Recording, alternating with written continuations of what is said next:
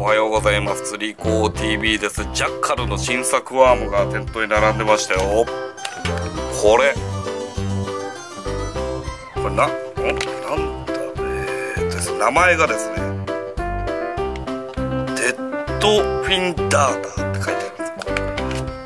です。デッドフィンダータこういったワームなんですけどもギル系ワームっていうことでいいんですかね。4.8インチっていうことでで価格が765円で1234本入り。こういったワームが、え、発売されていたんでこれフィッシングショーで並んでたんで見てて欲しいなと思ったんですけどね。あのなかなか、えー、夏の時期出ないな出ないなと思ったら並んでましたよ。これと一緒にですねあとあのこれですね。釣り岡瀬翔さんのスペシャルカラーのガバチョフロッグ。こんなのもあの今回のジャッカルの、えー、入荷でいっぱい店頭に並んでましたんで自分はあのこれ1個持ってるんでもうちょっと買わなかったんですけどもチャンスですよ。まあでワームの方はですねこれとこれの小さいサイズこれもですねもう並んでいたんですけども、えー、自分はとりあえずですねこっちの大きいサイズから使ってみようかなということでこれを1袋買ってきてみました。じゃあ早速ですね開けていきたいと思います。いやーちょっと久しぶりにジャッカルのこのちょっと大きめワームっていうのを買ってみたんですけどね。よし。はい。こんな感じで。入ってます。ブリスターパックで型崩れしないようになっていてパカーンと開くと結構開くとなんか店頭で見たように随分と生めかしい感じの色ですね。じゃあ早速1匹見ていきたいと思いますがおー結構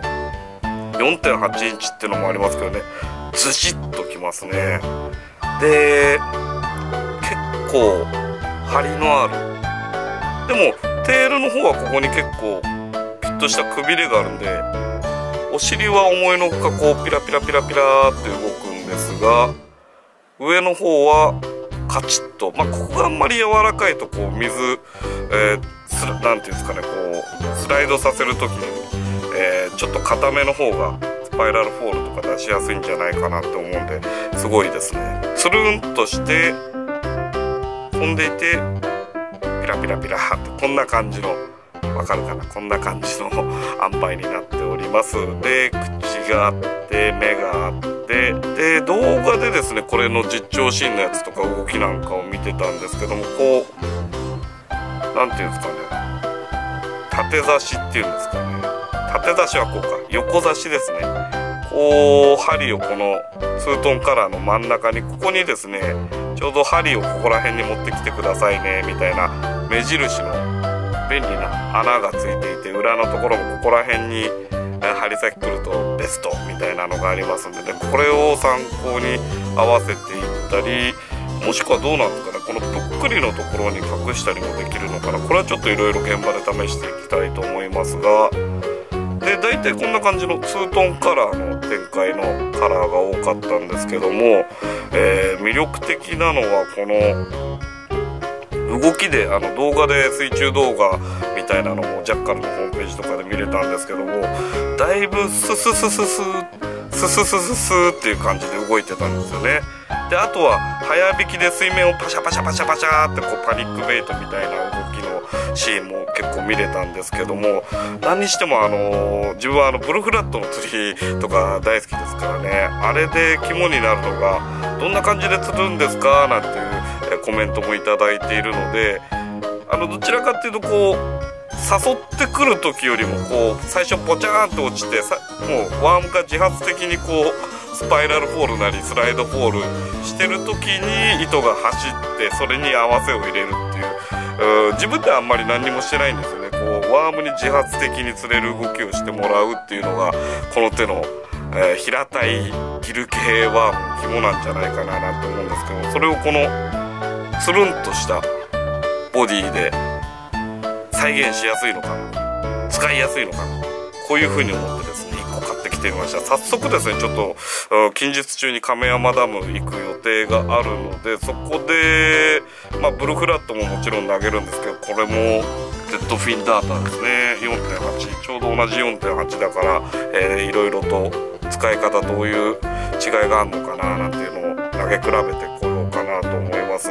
プロフラットはどちらかっていうとあのライトテキサスとか重りをつけたリグで、えー、よく釣るんですけどこれはあ大体何でしょうかノーシンカーで、えー、誘うよみたいな感じのが多く見えたんでまあ